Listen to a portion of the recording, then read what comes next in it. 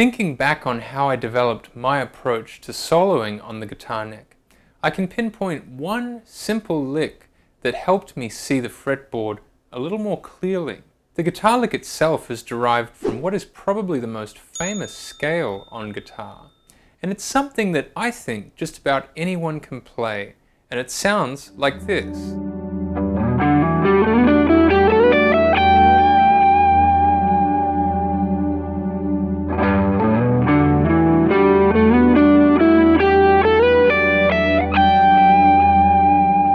As you can hear, this is really just a pentatonic scale. In fact, it's an E minor pentatonic scale beginning from the third degree G. You'll hear this kind of pentatonic derived lick in a lot of different types of music that feature the electric guitar. For example, I think the first time I heard something close to this was probably in the guitar solo from Shining Star by Earth, Wind & Fire.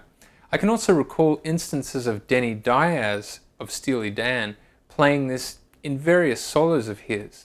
I can also think of, in an improvisational context, both Pat Metheny and also Mike Stern using a pentatonic derived idea like this as well. When you're using this pentatonic derived approach in a solo, you can simplify it a bit by turning it into a 1, 2, 3, 5 pattern, which you would hear commonly throughout a lot of improvised music that pattern would sound a bit like this.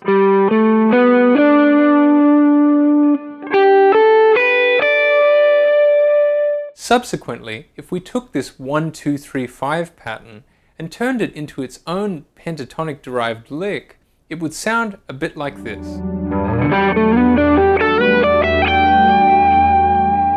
In fact, you would have heard me using elements of this 1, 2, 3, 5 pattern approach in the opening solo of this video.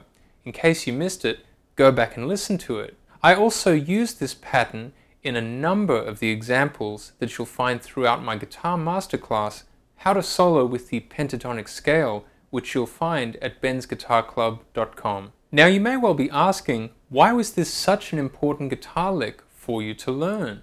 On the guitar neck, we can so often get stuck in certain boxes or positions on the neck. And this particular lick was the first thing that broke me out of that. I was able to efficiently play a pentatonic scale over a three octave range without getting stuck in a position. Let's go through each one of those three octaves.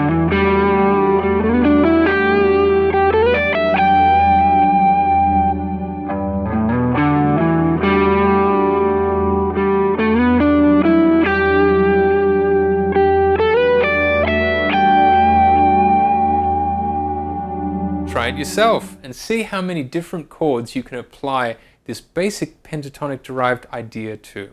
I hope you enjoyed this short lesson today.